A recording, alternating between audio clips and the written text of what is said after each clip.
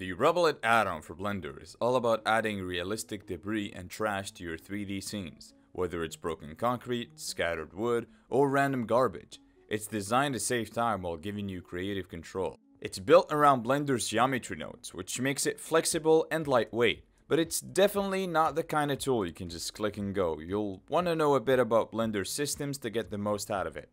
Using Rubble It kicks off with a button. Hit the Add Rubble It button and you're ready to start scattering debris. From there, you'll need to set up a collection for your rubble pieces. These could be high poly chunks of debris like broken concrete, let's say, or lower poly objects like trash and scrap wood, depending on the look you're going for. If you're aiming for detailed ambient occlusion effects, it's worth using higher poly objects as they tend to deliver more precise results.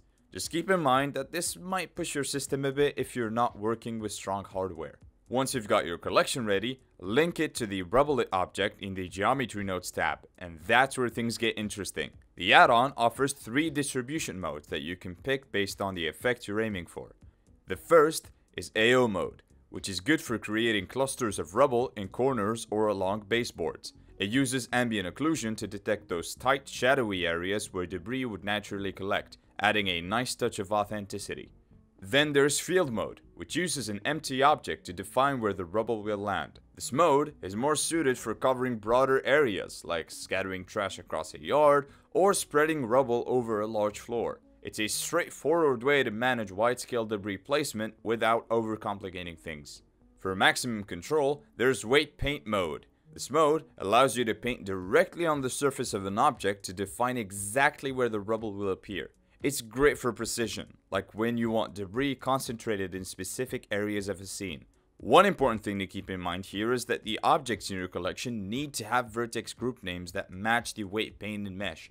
If those don't line up, the rubble won't distribute properly, which can be frustrating if you've already spent time painting. There is a fact I really appreciated and it's that each mode has an invert option. Basically, it focuses on adding the rubbles everywhere except the area of your selection or in the case of AO mode, away from the AO areas. Talking about AO mode, there is one thing to know in particular, and it's that it works best with higher poly objects, because it relies on ambient occlusion to calculate where rubble should appear. Using low poly models can make the distribution feel less precise. It's not a deal breaker if you're working on a simpler scene, but for detailed environments, it's definitely worth keeping this in mind to avoid breaking the illusion of realism.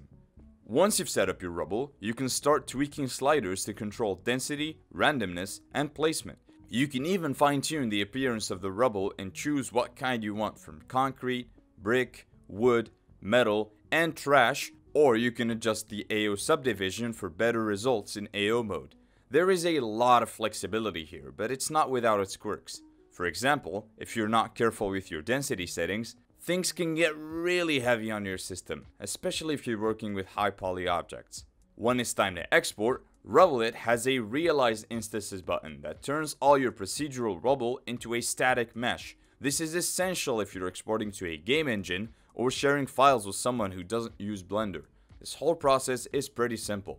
What I like about Rubble It is how procedural it feels. You're not locked into a specific setup and you can reuse the same system across multiple projects. The different distribution modes give you enough options for a variety of scenes. That said, it's not as plug and play as some other add-ons. There's definitely a learning curve here, especially with weight paint mode, where everything relies on properly named vertex groups. Plus, the distribution can sometimes be messy and needs more cleaning. I hope you guys found this video useful and informative, and if you did, please give it a thumbs up. Also, subscribe to the channel. Thank you very much for watching, and I'll see you in the next one.